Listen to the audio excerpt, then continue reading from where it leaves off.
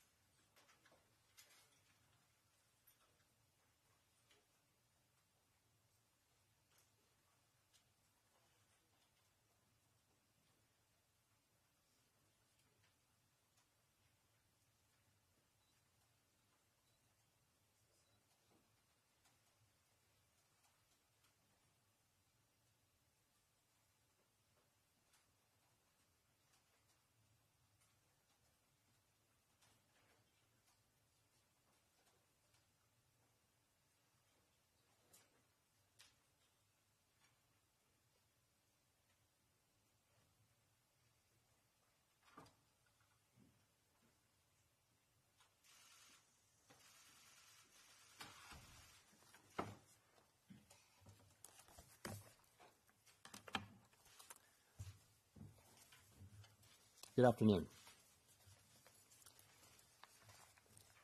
Before I go into the details of today's meeting, I'd like to underscore for the American people that we understand the hardship that high inflation is causing and that we are strongly committed to bringing inflation back down to our 2% goal. Over the course of the year, we've taken forceful actions to tighten the stance of monetary policy. We've covered a lot of ground, and the full effects of our rapid tightening so far are yet to be felt. Even so, we have more work to do. Price stability is the responsibility of the Federal Reserve and serves as the bedrock of our economy. Without price stability, the economy doesn't work for anyone. In particular, without price stability, we will not achieve a sustained period of strong labor market conditions that benefit all. Today, the FOMC raised our policy interest rate by a half percentage point. We continue to anticipate that ongoing increases will be appropriate in order to attain a stance of monetary policy that is sufficiently restrictive to return inflation to 2% over time. In addition, we're continuing the process of significantly reducing the size of our balance sheet. Restoring price stability will likely require maintaining a restrictive policy stance for some time. I'll have more to say about today's monetary policy actions after briefly reviewing economic developments. The U.S. economy has slowed significantly from last year's rapid pace. Although real GDP rose at a pace of 2.9% last quarter, it is roughly unchanged through the first three quarters of this year. Recent indicators point to modest growth of spending and production this quarter. Growth in consumer spending has slowed from last year's rapid pace, in part reflecting lower real disposable income and tighter financial conditions. Activity in the housing sector has weakened significantly, largely reflecting higher mortgage rates. Higher interest rates and slower output growth also appear to be weighing on business fixed investment. As shown in our summary of economic projections, the median projection for real GDP growth stands at just 0.5% this year and next, well below the median estimate of the longer-run normal growth rate. Despite the slowdown in growth, the labor market remains extremely tight, with the unemployment rate near a 50-year low, job vacancies still very high, and wage growth elevated. Job gains have been robust, with employment rising by an average of 272,000 jobs per month over the last three months. Although job vacancies have moved below their highs and the pace of job gains has slowed from earlier in the year, the labor market continues to be out of balance, with demand substantially exceeding the supply of available workers. The labor force participation rate is little changed since the beginning of the year. FOMC participants expect supply and demand conditions in the labor market to come into better balance over time, easing upward pressures on wages and prices. The median projection in the SEP for the unemployment rate rises to 4.6% at the end of next year.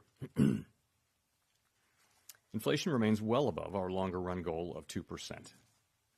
Over the 12 months ending in October, total PCE prices rose 6%, Excluding the volatile food and energy categories, core PCE prices rose 5%.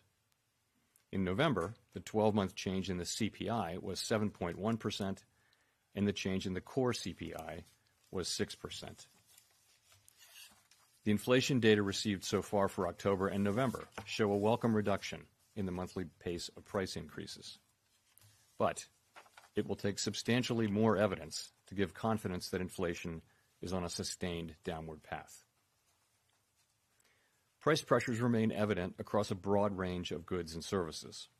Russia's war against Ukraine has boosted prices for energy and food and has contributed to upward pressure on inflation.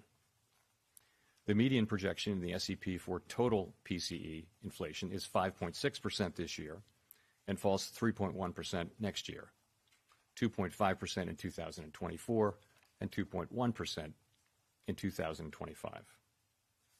Participants continue to see risks to inflation as weighted to the upside. Despite elevated inflation, longer-term inflation expectations appear to remain well anchored, as reflected in a broad range of surveys of households, businesses, and forecasters, as well as measures from financial markets. But that is not grounds for complacency. The longer the current bout of high inflation continues, the greater the chance that expectations of higher inflation will become entrenched.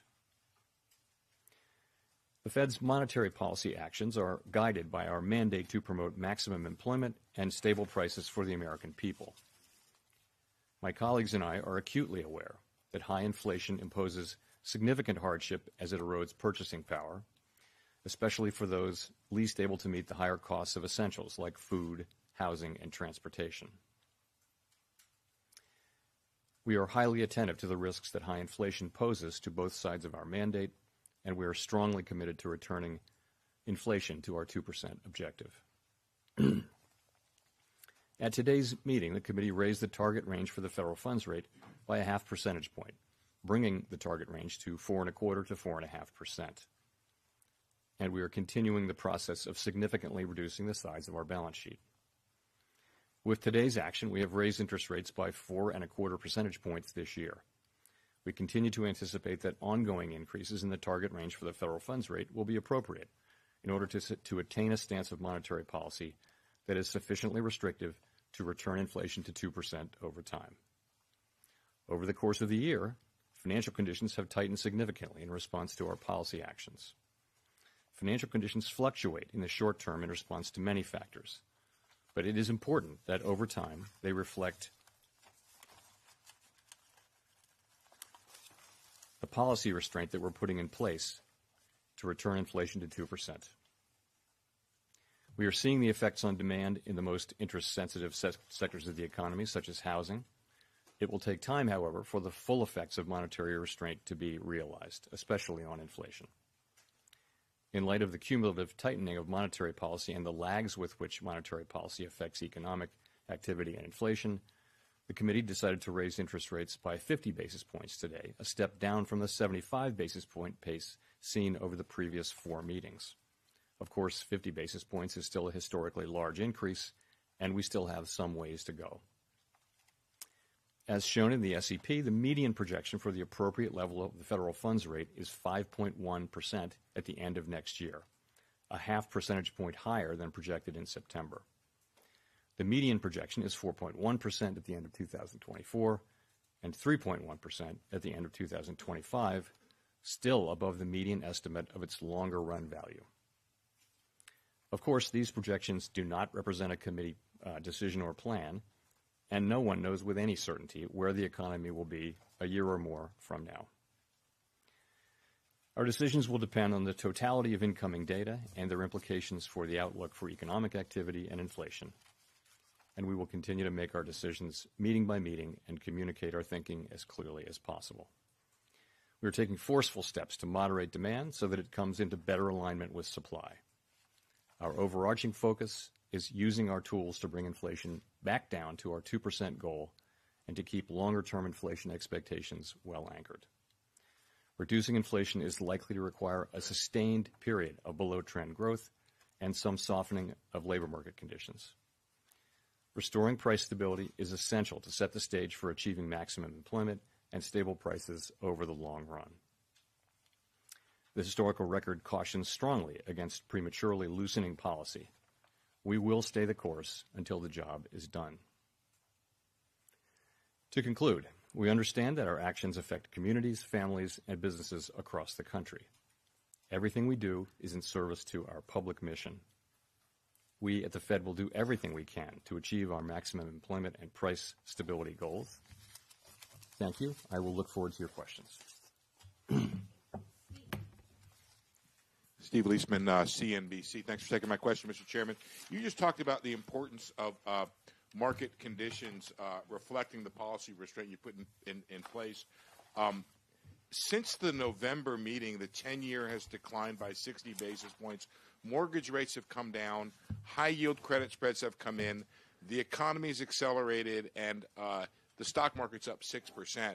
Um, is this loosening of financial conditions a problem for the Fed in its effort and its fight against inflation? And if so, do you need to do something about that, and how would you do something about that? Thank you. So, as I mentioned, it, it is important that overall financial conditions continue to reflect the policy restraint that we're putting in place to bring inflation down to 2%. Um, we think that financial conditions have tightened significantly in the past year. But our policy actions work through financial conditions, and, and those in turn affect, affect economic activity, the labor market, and inflation. So what we control is our policy moves and the communications that we make. Financial conditions both anticipate and react to our actions. I would, I would add that our, our focus is not on short-term moves, but on, on uh, persistent moves. Uh, and many, many things, of course, move financial conditions over time. Um, I would say it's our judgment today that we're not at a sufficiently restrictive policy stance yet, which is why we say that we would expect uh, that ongoing hikes would be appropriate. And I would point you to the SEP again for uh, our current assessment of what of what that peak level will be. Uh, as you as you will have seen, 19 people filled out the the SEP this time, and uh, 17 of those 19 wrote down a peak rate of 5% or more in the fives. So that's our best assessment today for what we think the peak peak rate will be. Uh, you will also know that at each subsequent SEP during the course of this year, we've actually increased our estimate of what that peak rate will be. And today, uh, the SEP that we're published shows again, that overwhelmingly FOMC participants believe that inflation risks are to the upside. So I can't tell you confidently that we won't move up our, our estimate of the peak rate again at the next SEP. I don't know what we'll do. It will depend on future data. What we're writing down today is our best estimate of what we think that, that peak rate will be based on what we know. Obviously, if data, if the inflation data come in worse, that could move up, if they, and it could move down if uh, inflation data are, are softer.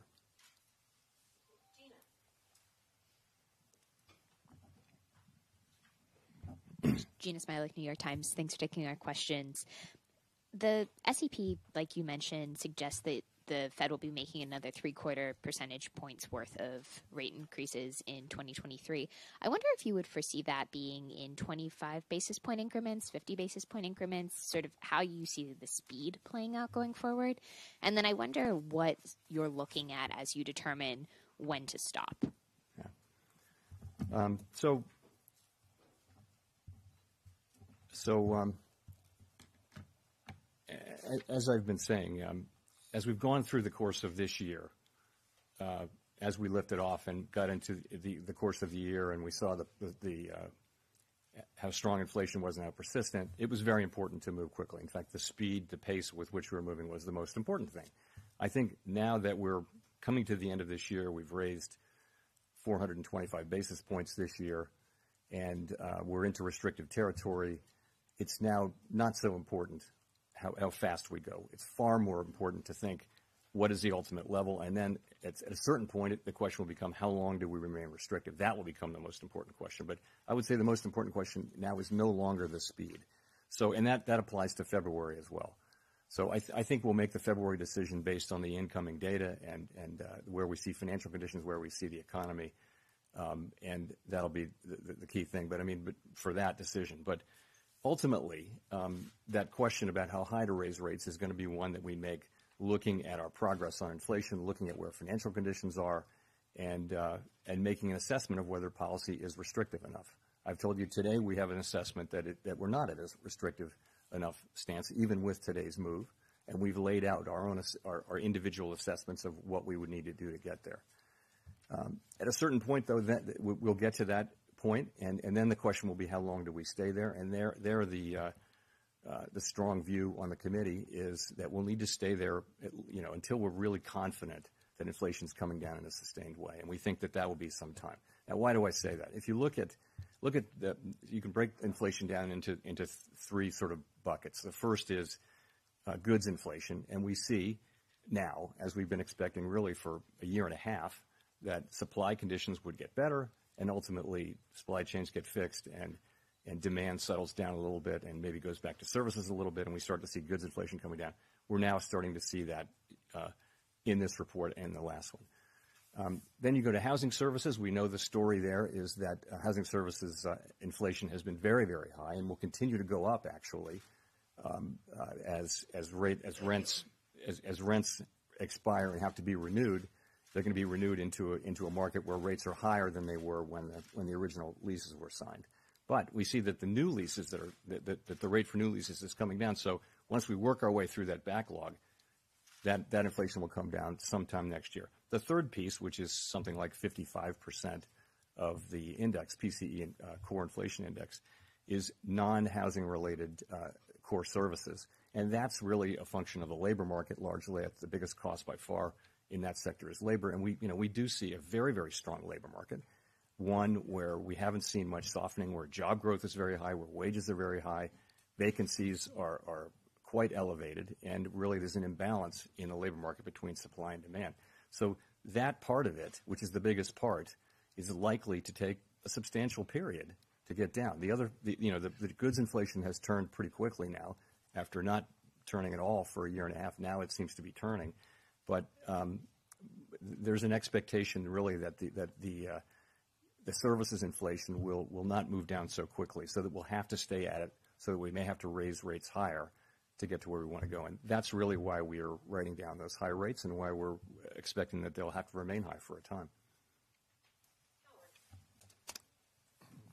Howard Schneider with Reuters. Thanks for taking the question. Uh, you described uh, GDP growth in the SEPs as uh, moderate or, modest, I believe. Um, yet it's really approaching stall speed. Half a percentage point is not much. Uh, you described uh, labor market unemployment rate as uh, representing some softening, but it's nearly a full percentage point rise, and that's well in excess of what has historically been associated with recession. Uh, why wouldn't this be considered a recessionary uh, projection by the Fed? Well,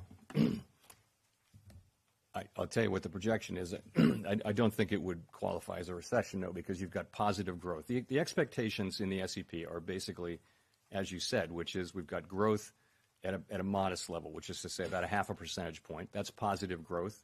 It's slow growth. It's well below trend. It's not going to feel like a boom. It's going to feel like very slow growth, right? Um, in that in that condition, labor market conditions are softening a bit. Unemployment does go up a bit. I would say that many uh, analysts believe that the that the natural rate of unemployment is actually elevated at this moment. So it's not clear that those forecasts of inflation are, really much above the natural rate of unemployment. We, we can never identify its location with great precision. But that 4.7% is, is still a strong labor market.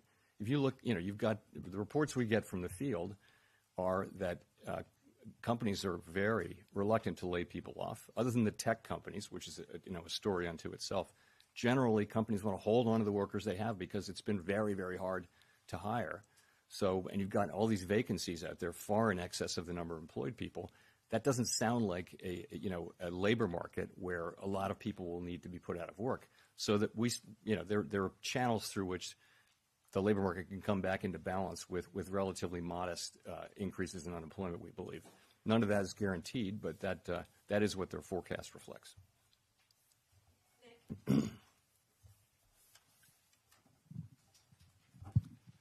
Thanks, Nick Timiraos of the Wall Street Journal. Uh, Chair Powell, I want to follow up on, on Jeanna's question. The decision to step down the pace of rate increase, rate rises, uh, appears to have been socialized at your last meeting, largely before the past two CPI reports showed inflation decelerating in line with the committee's forecast this year. You just now talked about making decisions meeting by meeting and being mindful of the lags of policy. Does that mean all things equal, you would feel more comfortable probing where the terminal rate is by moving in 25 basis point increments, including beginning at your next meeting? So I, I haven't made a judgment on what size rate hike to, to make at the last meeting. But you know the, what, what you said is broadly right, which is having moved so quickly and having now so much restraint that's still in the pipeline, we think that the appropriate thing to do now is to move to a slower pace, and um, you know that will that will allow us to feel our way and uh, you know and get to that level we think and, and better balance the risks that we face. So that, that's that's the idea. It makes makes a lot of sense. It seems to me particularly if you, if you consider how far we've come. Um, I, but again, I, I, can't tell you today what the, what the actual size of that will be. It will depend on, on a, variety of factors, including the incoming data in particular, the state of the economy, the state of financial conditions. With the CPI report, if it had come out last week, do you think it would have changed uh, some of those, those forecasts in, in today's SEP? No, absolutely not. no, uh, as a as a just a matter of practice, the SEP reflects any data that's that comes out during the meeting, and participants know that they have the they know this that they they can make changes to their SEP during the meeting, you know, well in advance of the press conference, so that we're not running around. But that's not the case. It's never the case that that that the SEPs don't reflect an important piece of data that came in on the first day of the meeting.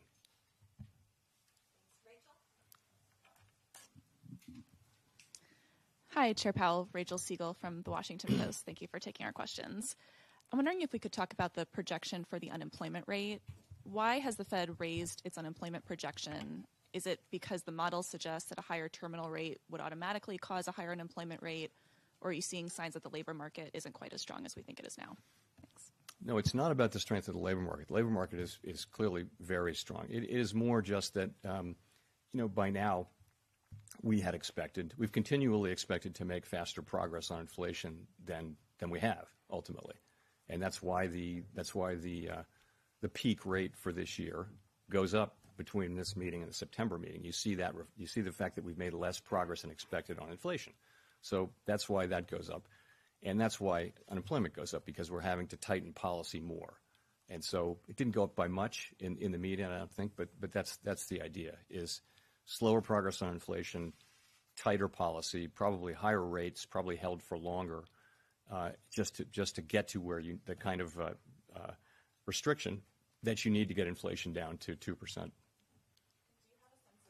In order to get to that number, how much of that could be caused by layoffs versus vacancies trimming or changes to the labor force population rate? It's, it's very hard to say. You know, there you can look at you can look at history, right? And history would you know, would say that uh, in a situation like this, the declines in unemployment would be more meaningful, I think, than than what you see written down there. But why do we think that is the case? So I'll give you a few reasons. First, just is that there there's this huge overhang of vacancies, meaning that that vacancies can come down a fair amount, and we're hearing from many companies that they don't want to lay people off, so that they'll keep people because it's been so hard. I mean, I think we, we've it feels like we have a structural labor shortage out there where there are, you know, 4 million fewer people, a little more than 4 million, who are in the workforce available to work, then there's demand for workforce. So the fact that there's a strong labor market, you know, means that that, uh, that that companies will hold on to workers, and it means that it may take longer, but it also means that the, that the costs in unemployment may be less.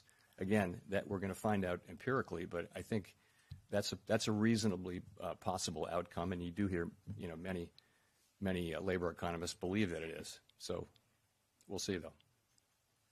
Colby. Thank you. Colby Smith with the Financial Times. How should we interpret the higher core inflation forecast for 2023 uh, in the SEP? Uh, does that not then suggest that the policy rate currently forecasted for next year should actually be higher than the 5.1 um, medium estimate penciled in? Well, I think that's why it, one of the reasons it went up was that core came in stronger this year. Came in stronger this year. Yeah, what what you see is is our best estimate as of today, really, as of today, for how high we need to, to, to raise rates, to how, how much we need to tighten policy to create enough, uh, you know, restrictive policy to slow economic activity and slow, soften the labor market and bring inflation down through those channels. That's that's all. You, that, that's that is the estimate, uh, best estimate we make today, and uh, as I mentioned, we'll make another estimate for the next SEP, and we'll, you know, of course, between meetings we do the same thing, but we don't publish it.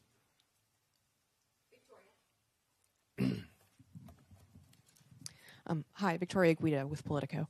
Um, I-, I, wanted to make sure I understand specifically um, what's going on in the SEP because you all expect rates to go higher, but you're also more pessimistic about what inflation is going to look like next year. And I was just wondering, you know, given that we have seen some cooling in inflation, uh, you know, is it is that primarily because of wage growth that you expect wage growth to be sort of a, a, a headwind?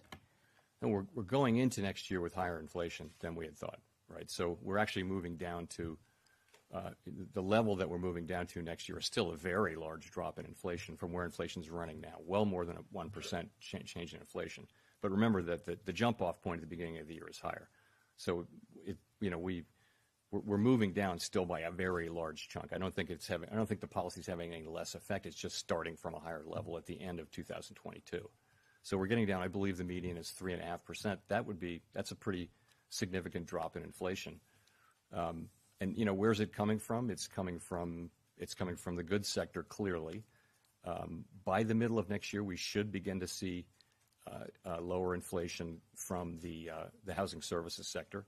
And then, you know, the, big question is when we, how much will you see from the largest, the 55% of the index, which is the non-housing services sector. And, you know, that's, that's where you need to see, we believe you need to see um, a, a, better balancing of supply and demand in the labor market so that you have, it's, it's not that we don't want wage increases. We want strong wage increases. We, we just want them to be at a level that's consistent with 2% inflation. Right now, the, if you, if you put into, if you factor in productivity estimates, standard productivity estimates, wages are running, you know, well above what would be consistent with 2% inflation. Thanks. Hi, Chair Powell. Uh, Neil, Neil Irwin with Axios. Uh, some of your colleagues have been pretty explicit that they can't imagine rate cuts happening in 2023. Uh, that's certainly not implied by, by the SEP. Uh, but futures markets have priced in some easing in the back half of next year. Uh, what's, what's your view of the likelihood of any kind of rate cuts next year? What circumstances might make that plausible? You know, our focus right now is is really on moving our policy stance to one that is restrictive enough to assure a return of inflation to our 2% uh, goal over time. It's not on rate cuts. Um, and we think that we'll have to maintain a restrictive stance of policy for some time. Historical experience cautions strongly against prematurely loosening policy. I guess I, would say it this way. I, I, wouldn't see us considering rate cuts until the committee is confident that inflation is moving down to 2% in a sustained way. So that's that's the that's the test I would articulate. And, and you're correct. There there are not rate cuts uh, in in uh, in the SEP for 2023.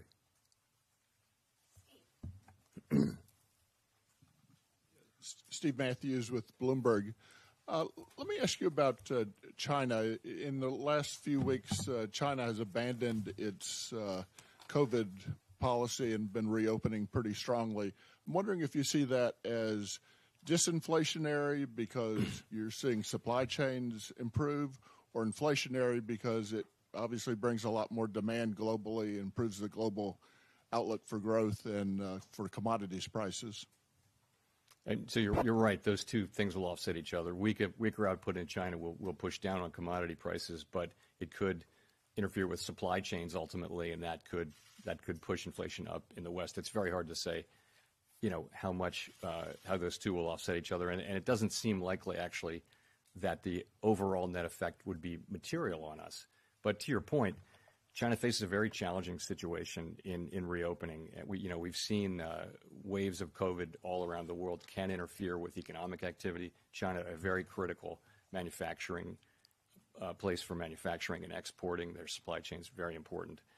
Um, and uh, China faces a reopening. They've, you know, they've backed away from their COVID restriction policies. There could be very significant increases in COVID, and we'll just have to see. It's a risky situation. It, but again, it, it doesn't it doesn't seem like it's likely to have material overall effects on us.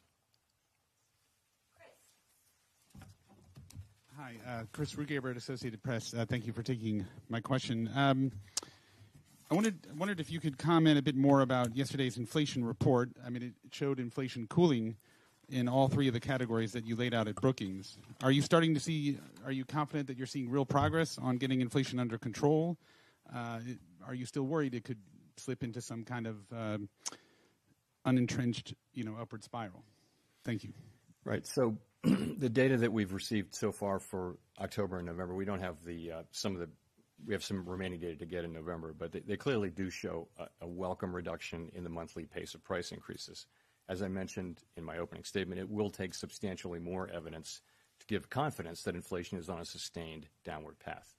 So the way we think about this uh, is this. This report is very much in line with what we've been expecting and hoping for. And what it does is it, it provides greater confidence in our forecast of declining inflation. As I mentioned, we've been expecting significant, forecasting significant declines in, in overall inflation and core inflation in the coming year. And this is the kind of reading that it will take to, to support that. So really this gives us greater confidence in our forecast rather than at, this point changing our forecast. Um, in, ter- in, terms of the pieces, we have been expecting goods inflation to come down as supply chain pressures eased. That's happening now. Housing services, as I mentioned, there is good news in the pipeline as long as housing, new housing leases show declining inflation. That will show up in the measure around the middle of next year, so that should help. And the big piece, again, is core services ex housing which is very important. And we, we have we have a ways to go there. You you do see some beginning signs there, but ultimately that's that's the big that more than half, as I mentioned, of of PCE core index, and uh, it's it's very uh, fundamentally about the labor market and uh, and wages.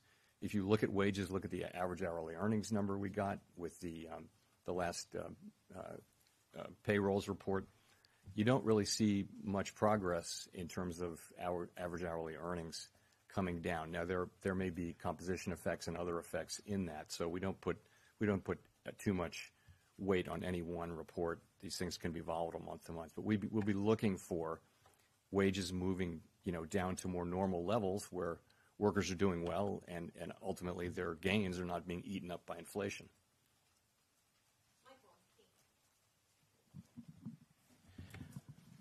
A, excuse me, Michael McKee from Bloomberg Radio and Television. Um, there's a little bit of a disconnect between the optimistic view you just expressed about the economy and the changes that you've made in the SEP. And I'm wondering if you're reacting to uh, the fact that the markets have loosened financial conditions, or if you feel the Fed may be a little bit behind on inflation, uh, whether in the, the recent disinflation we're seeing is transitory or not, uh, and how this affects the idea of a soft landing if you're projecting just half a percent growth for this year. So, if if I if I I think I got your question. So, you know, one thing is to say is I think our policies and getting into a pretty good place now. We're restrictive, and I think we're you know we're we're getting close to that level of sufficient, we think, uh, sufficiently restrictive. We laid out today what our best estimates are um, uh, to get there. Um, and uh, I mean, it boils down to how long do we think this process is going to take? And of course, we welcome these these uh these better inflation reports for the last two months. They're very welcome, but I think we're realistic about the broader project. So that that's all. That's the point I would make. It's, you know, we see goods prices coming down. We understand what will happen with housing services, but the big story will really be the rest of it, and there's not much progress there, and that's gonna take some time. I think my view and my colleagues' view is that this will take some time. We'll have to hold policy at a restrictive level for a sustained period so that, you know, two good you know two good uh, monthly reports are, you know, very welcome. Of course, they're very welcome. But I think we need to be honest with ourselves that there's, you know, inflation, 12-month core inflation is 6% CPI.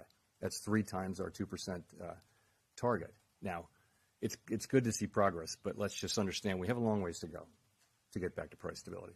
Well, do you think the soft landing is no longer achievable? No, I wouldn't say that. No, I don't say that. I mean, I would say this, um, you know, to the extent we need to keep rates higher and keep them there for longer, and inflation, you know, moves up higher and higher, I think that that narrows the runway. But lower inflation readings, if they persist in time, could could certainly make it more possible. So I just I don't think anyone knows uh, whether we're gonna have a recession or not, and if we do, whether it's going to be a deep one or not. It's just, it's not knowable. And um, certainly, uh, you know, lower inflation reports, were they to continue for a period of time, would increase the likelihood of a... So I would put it this way, of a return to price stability that involves significantly less uh, less of an increase in unemployment than would be expected, given the historical record.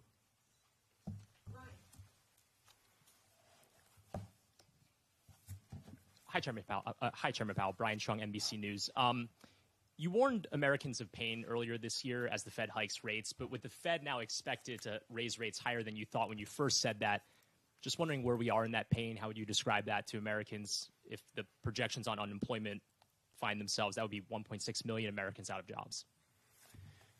So the, the largest amount of pain, the worst pain, would come from a failure to raise rates high enough and from us allowing inflation to become entrenched in the economy so that the ultimate cost of of getting it out of the economy would be very high in terms of uh, employment, meaning very high unemployment for extended periods of time. The kind of thing that had to happen when inflation really got out of control, and the Fed didn't respond aggressively enough or soon enough in, in a prior episode, you know, 50 years ago. So that's really the worst pain, would be if we failed to act. What we're doing now is, you know, it's raising interest rates for people, and so people are paying higher rates on mortgages and that kind of thing. Um, there will be some softening in labor market conditions, and I wish there were a completely painless way to restore price stability. There isn't, and uh, this is the best we can do. I I, I, do I do think, though, that uh, Um, and markets are pretty confident, it seems to me, that we will get inflation under control, and I believe we will. We're certainly highly committed to do that. Thank you, Mr. Chair. Grady Trimble with Fox Business.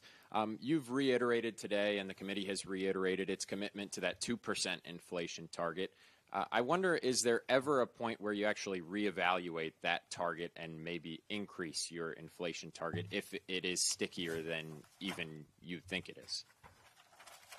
That's just uh, so changing our inflation goal is just something we're not we're not thinking about, it's not something we're not going to think about. It's we have a 2% inflation goal, and we'll use our tools to get inflation back to 2%. I think this isn't the time to be thinking about that. I mean, there may be a longer run project at some point, Uh, but that is not where we are at all. The committee, we're not considering that. We're not going to consider that uh, under any circumstances. We're gonna we're gonna keep our inflation target at 2%, and we're gonna use our tools to get inflation back to 2%. Nicole? Thank you, Chairman Powell. Nicole Goodkind, CNN Business. Uh, as you monitor wage growth and unemployment data, I wonder if you're paying close attention to a sector or even income level. Like, how do you factor uh, potential exacerbations of inequality into your risk calculations, especially given the K-shaped recovery of 2020? So the um, I would go back to the labor market that we had in 2018, 2019, 2020. So what that looked like was wage increases for the people at the lowest end of the income spectrum were the largest. The gaps between uh, between racial groups and gender groups were at their smallest in recorded history. Um, that's and that all of that because of a tight labor market, a tight labor market which which had inflation running, you know, just a tick below two percent, and the economy growing right at what at its potential. So that seems like uh, something that would be really good for the economy and for the country if we can get back to that. And so that's what all of us want to do. We want to get back to us to uh, a long expansion where the labor market can remain strong over an extended period of time. That's a really good thing for workers in the economy, and we'd love to get back to that. That's what our goal is. Um, you know, there's in in the near term, we have to use our tools to restore price stability, but we you know we can't. What we have to think about is the medium and longer term. If you think about it, the country went through a difficult time. I think much more difficult than we can can think it would happen here, but it really set up our economy for several decades of prosperity. So price stability is is something that really pays dividends for the benefit of the economy and the people in it over a very, very long period of time. And so when it is lost for whatever reason, it has to be restored and as quickly as possible, which is what we're doing.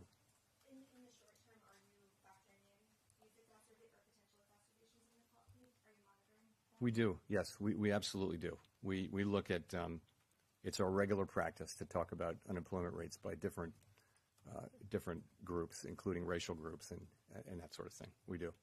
We keep our eye on that.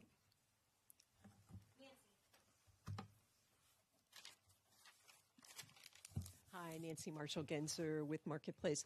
Um, what would you do if the economy slows so much that we enter a recession before we see strong, consistent signs that inflation is slowing? In other words, stagflation. So I, I don't want to get into too many hypotheticals, but um, you know, we'll, we'll, we, it's hard, it's hard to deal with hypotheticals. So let me just say that we have to use our tools to support maximum employment and price stability. Uh, I've made it clear that right, right now the labor market's very, very strong. You're at near a 50-year low. Um, you're at or above maximum employment, um, in 50-year low in unemployment. Vacancies are very high. Wages, nominal wages are very high. So the labor market is very, very strong. Where we're missing is on the inflation side, and we're missing by a lot on the inflation side. That means we need to really focus on getting inflation under control, and that's what we'll do. I think as the economy heals, the two the two goals come more into into uh, into play. But right now, clearly the focus has to be on getting inflation down.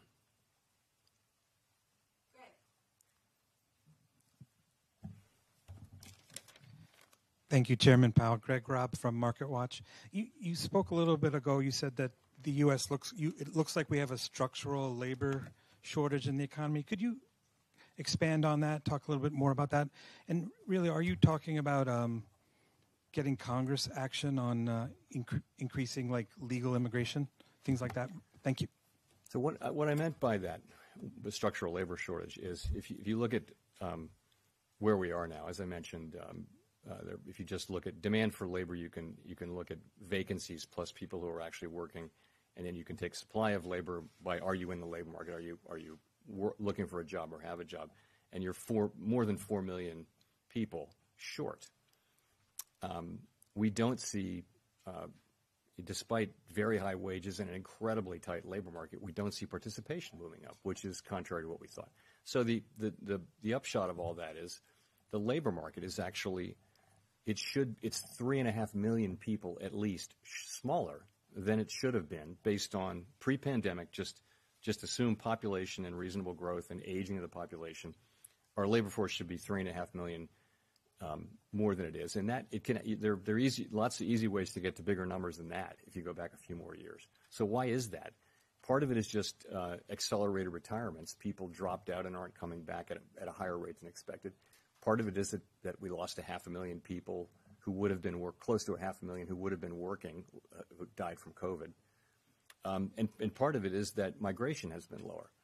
We don't prescribe, you know, it's not our job to prescribe things, but I, you know, I think if you if you ask businesses, uh, you know, pretty much everybody you talk to says we there aren't enough people. We we need more people. So, we, I, tried to identify that in my in, in a speech I gave a month ago, but I but I stopped short of of telling Congress what to do because you know they gave us a job, and we need to you know do that job.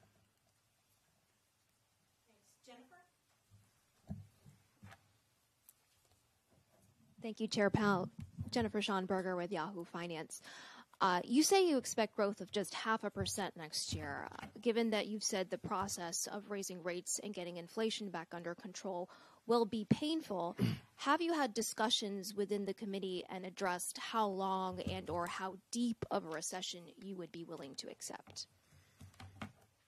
No, I mean we, what we do is we make we make our forecasts um, and we publish them quarterly. And you know, if you if you look at those forecasts, those are those are forecasts for slow growth, uh, for a softening labor market, by which I mean unemployment goes up, but but not a great deal. And you see inflation coming down. You see rates going up a lot. You see inflation coming down. Th- those are those forecasts, and that that's that's really what they show. We're not. Um, I, we we all, of course, we we don't um,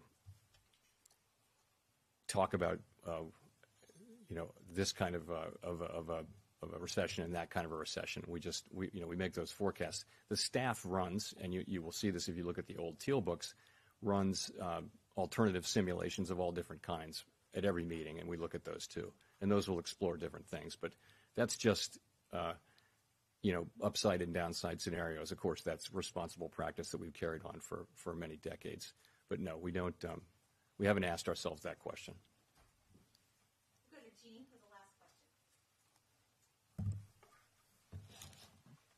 Hi, Jean Yung with Market News. Um, I wanted to ask a, about the SEP again. If you are reaching peak rates around 5% in the first half of next year and inflation starts to decline materially, that would seem to make the real rate um, gradually more restrictive. Is that something that's built into the projections and, and, into models? Is that something you would want to see?